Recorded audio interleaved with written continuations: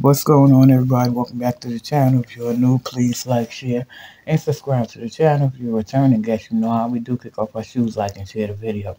This video is under the Fair Use Act, and the Fair Use Act is in the description box of the video, as well as the About Me section of the platform.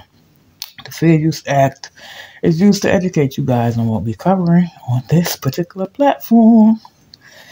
This whole video is allegedly, well, found this to be interesting, guys. this is crazy because Kanye West for some time have been speaking this into existence. I don't know if you got on Drink Champs when he went at all of them. He said they all was peas and you know that they all evil people and he was saying that when his kids was gone and Kim had the kids, nobody wouldn't help him find his kids. And paparazzi, I believe it was TMZ, and then this video is alleged. And they pulled up on the car, and he was talking. He talking about how he believed he had sacrificed his mom, and he said they can't shut him up. He was saying they can't shut me up. He said, but they could shut up Jay Z. He said they could shut up Puffy. He said, cause I ain't unalive no more. he did say that, y'all. I don't know. Yes, he did. And so now we got all these things coming into play. We got Puffy with his alleged baby mother, you know, being gone. God bless her soul. We got Hove, where that he did away with a mistress. And we got Kanye going up, going down, going up, going down, going around. but he did speak this into existence, y'all. When he did the Drink Champs um, podcast, he definitely said that, you know, they were evil. He said that even Mick called out, he called out all of them. And all of them who he called out some things are coming out about them and they're not nice things. So, mm-mm-mm. let me ask you guys this because we know that Kanye do sometimes spiral and this and that. And we know that Kanye was into ministry. I'm not sure if he still is. But there is something called discernment. There is something where you can visual things, not visual things, but God show you things in advance. And Kanye definitely called this stuff out. He definitely called both of them out.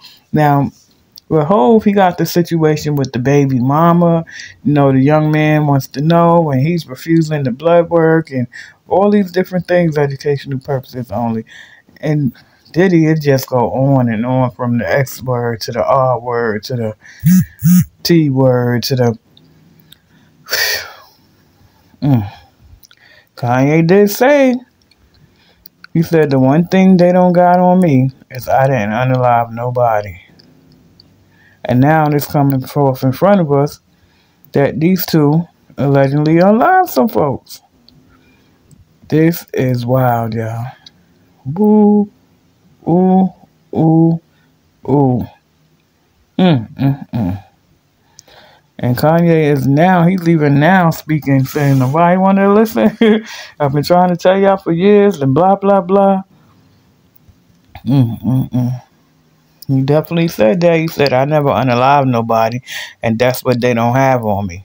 So he felt like Jay Z and Diddy, you know, they people had things over their heads. And, you know, that was the fact that they had did some real evil things to people. And now it's just coming out piece by piece by piece. And to be honest, like I said in another video, it seems like soon as Keefe D got arrested, all these other allegations and all these other stuff started coming out. Like this is weird to me. Like, did he even know more than what he said? Mm mm mm. Wow. Mm mm mm. That is crazy. Yeah. So, what do you guys think? Do you think that Kanye spoke this into existence? You know, because he had been saying this for some time. Anywho, let me know what you guys think. Leave your comments down below. Make sure you like, share, and subscribe to the channel. Be blessed. Peace.